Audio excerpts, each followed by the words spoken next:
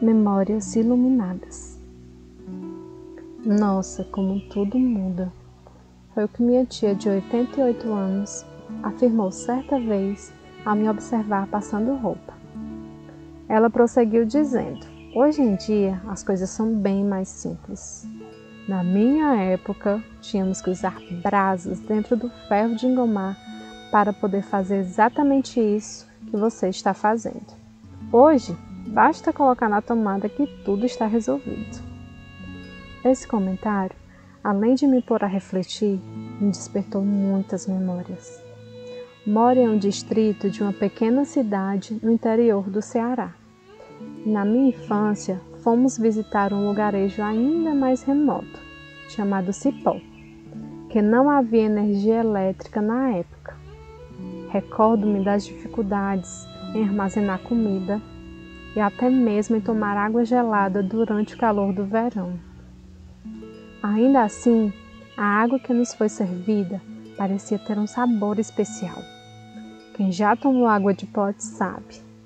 Para manter a higiene, ninguém tomava água no copo usado para tirar a água do pote.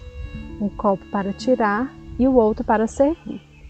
Em outros relatos de minha mãe e minha tia, elas me falavam que, quando não tinha acesso à geladeira, para conservarem a pouca carne que tinham em casa, tinham que salgar e secar, e em outros casos, conservar na gordura do próprio alimento. Grãos, apenas os secos. Farinha era mantida em caixões enormes de madeira. Eram tempos em que, quando falecia um familiar distante, eram horas até dias para a notícia chegar.